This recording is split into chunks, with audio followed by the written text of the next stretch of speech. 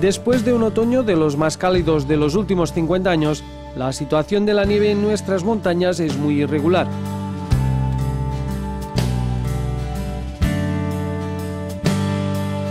Estas son imágenes de mediados del pasado mes de noviembre en Baqueira Beret, cuando estaban finalizando la instalación del nuevo telesilla. Estas otras corresponden a Portainé, cubierta de nubes, pero con mucha más nieve.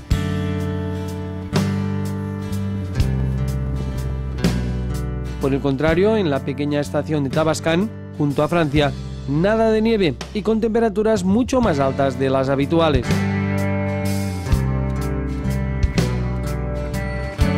Posteriormente, las abundantes precipitaciones del último fin de semana de noviembre fueron de nieve en cotas muy altas, fundiendo la que había por debajo de los 2.000 o 2.200 metros.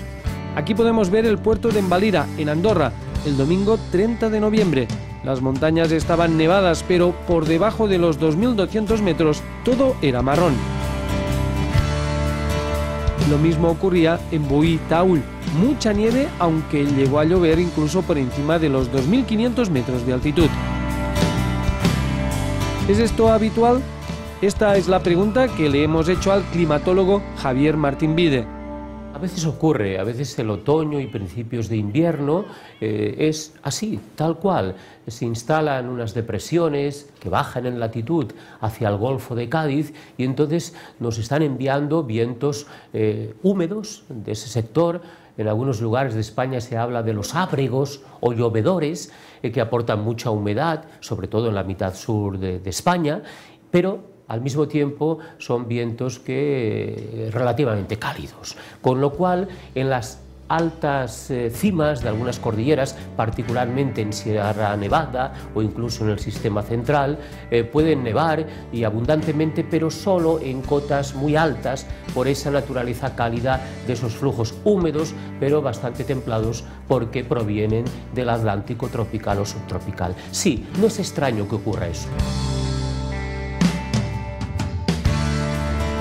El último fin de semana de noviembre fue un claro ejemplo, con precipitaciones muy abundantes pero de nieve en cotas altas. Por eso, aunque en la base de muchas estaciones les falte nieve, curiosamente, por encima de los 2.400 o 2.500 metros hay mucha más de la habitual.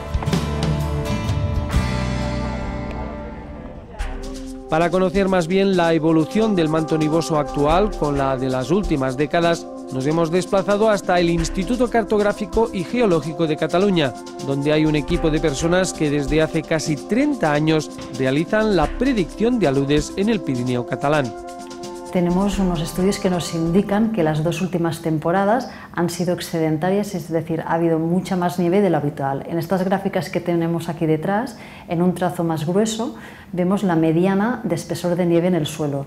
Como podéis ver, se ha llegado en el sector de la Bonaigua el año pasado 3 metros y medio y el año anterior incluso hasta, hasta 4 metros. Sin embargo, el año hace tres temporadas atrás, muy por debajo de lo que es la mediana, como podemos ver en esta tercera gráfica. Estas son las gráficas de tres estaciones del Pirineo de Cataluña.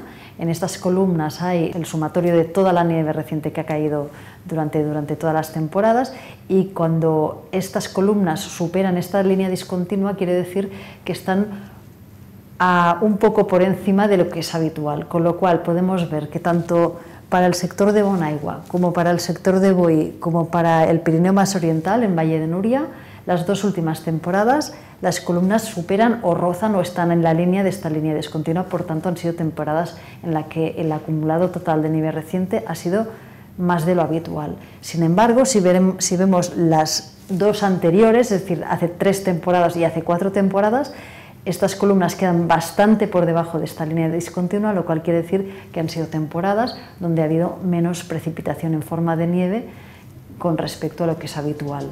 Con los datos que tenemos no podemos extrapolar y no es suficientemente larga la serie como para decir qué tendencia tendremos este año, pero sí que vemos que hay una gran variabilidad.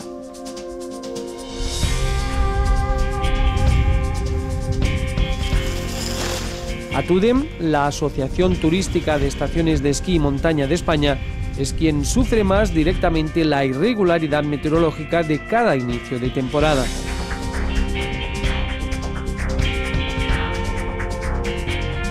El puente, como sabemos todos, tenía muy mala pinta, pero de repente hubo un cambio brusco, llegó la nieve, el frío y las cosas se fueron arreglando. Abrieron las estaciones del Pirineo Oriental, más, más y Vaqueira, y sobre todo Sierra Nevada, pues que fue la, la primera en iniciar la temporada.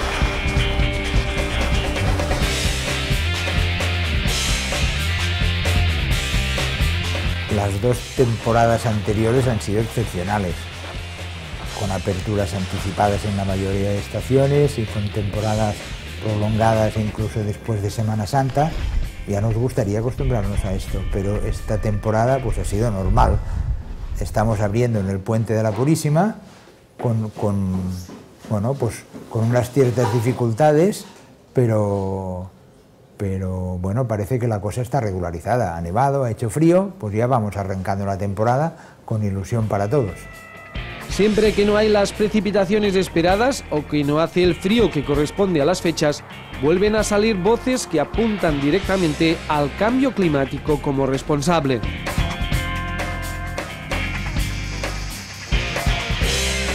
Un solo caso, un solo otoño, no nos dice nada acerca del calentamiento global, del cambio climático, que es una nueva realidad. Así lo ha constatado el último informe IPCC, el quinto, que acaba de ver la luz. Eh, dice que vivimos claramente en un planeta y en un país más cálidos que 25 o 30 años atrás. Pero lo que ha ocurrido en este otoño no significa nada. Sin embargo, sí que hemos observado, por ejemplo, que en los últimos 15 años hemos llegado al 1 de noviembre prácticamente en manga corta en muchos lugares de la península ibérica y eso sí que podría ser una señal de ese calentamiento global. Esto significa que hay que disfrutar de la nieve que tenemos, porque en el futuro difícilmente se repetirán inviernos tan buenos como los de los últimos dos años. Seguirá habiendo buenas temporadas para los amantes del deporte eh, de la nieve, de los deportes de la nieve, del esquí, sí, pero por otra parte, hemos de decir que la cota de nieve irá subiendo progresivamente a lo largo de este siglo XXI, con lo cual cada vez serán menos frecuentes esas buenas temporadas.